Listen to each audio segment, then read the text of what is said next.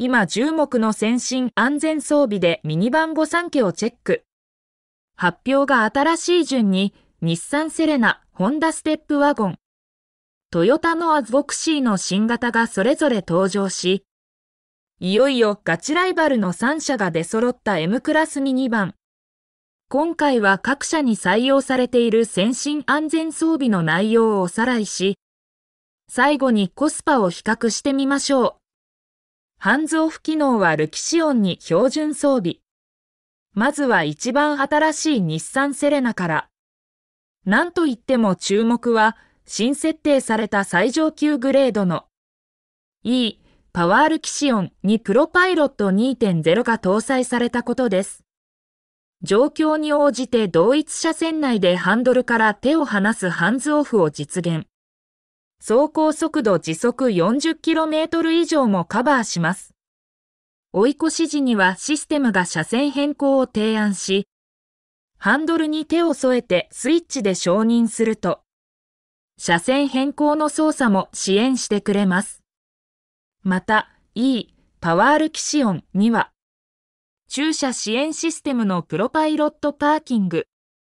車外から専用キーで遠隔操作を行うプロパイロットリモートパーキングも標準装備。高速道路における走行支援のみならず、駐車時の支援機能も充実しています。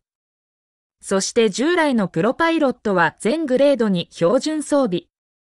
2台前を走る車両の車間相対速度を検知して、玉突き事故回避を支援するインテリジェント FCW 前方衝突予測警報。前方の歩行者や車両との衝突回避を支援する衝突回避ステアリングアシストなども標準装備となっています。また、グレード別にメーカーオプションとして設定されている日産コネクトナビゲーションを装着すると、プロパイロットにはナビリンク機能が追加されます。地図情報から事前にカーブやジャンクションの大きさを把握し、スムーズに曲がれるよう速度コントロールを行います。ハンズオフや駐車支援はオプション設定。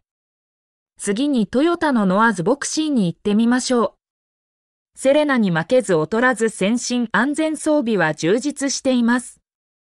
トヨタセーフティーセンスの中でも、コアとなるプリクラッシュセーフティー、レーントレーシングアシスト、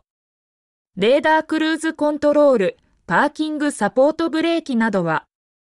全グレードに標準装備されています。それらに加えて、0、40km、H の一定条件下で、ハンズオフアシストを実現するアドバンストドライブ。遠隔操作も含む駐車支援システムのアドバンストパークを、グレード別にメーカーオプションとして設定。その他歩行者などとの衝突回避を、支援する緊急時操舵支援機能もオプション設定となっています。ステップワゴンはハンズオフや駐車支援の設定なし。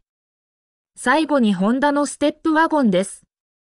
渋滞追従機能付きアダプティブクルーズコントロール。トラフィックジャムアシスト、渋滞運転支援機能。衝突軽減ブレーキ、車線維持支援システムなどを統合したホンダセンシングは全グレードに標準装備。歩行者事故低減ステアリングも同じく全車に標準で備わっています。ステップワゴンも充実した予防安全機能を備えていますが、セレナのプロパイロット2.0やノアズボクシーのアドバンストドライブのような条件付きハンズオフアシストは採用されていません。同じくプロパイロットパーキングやアドバンストパークに該当するようなソーダアシストを行う駐車支援システムも採用されていません。各社のハイブリッドモデルを比較。では、それぞれのコスパはどうでしょうか？各モデルのハイブリッド車同士を比較してみましょう。プロパイロット2.0を標準装備するセレナの E パワーラブ気温の車両本体価格は479万8200円です。ハンズオフアシストにこだわらない場合。e-POWER 15、もしくは。 e-POWER ハイウェイスター V にプロパイロットパーキングや日産コネクトナビゲーションなどを含むセットオプション。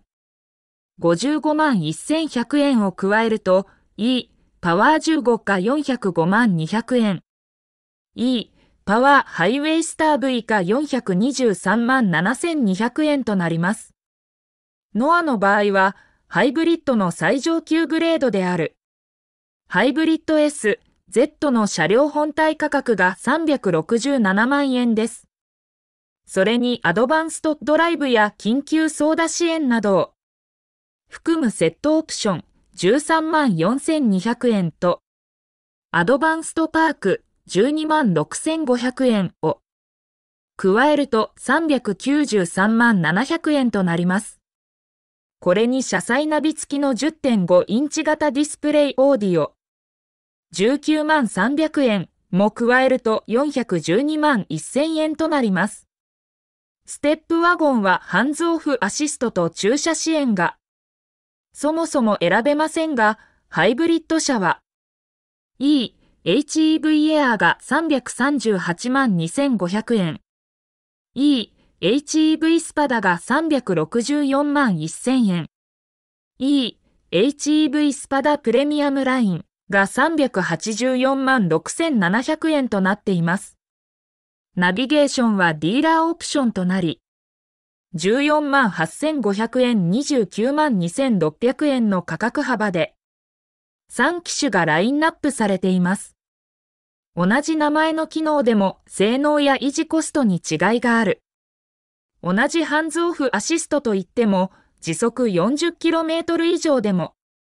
条件が整えば使えるセレナのプロパイロット2.0と、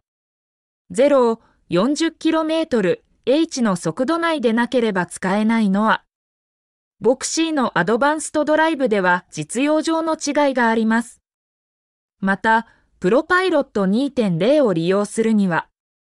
有料の日産コネクトサービスに入会する必要があり、通信料がプラスアルファでかかってきます。今回は先進技術の内容と有無に基準を絞っていますので、総合的に見るとのはボクシーの割安感が光っているように感じられます。ですが、車選びの基準は人それぞれ。そもそもハンズオフアシストや駐車アシストに必要性を感じない人にとっては、また別の見方があるはずです。あくまで一つの参考材料になれば幸いです。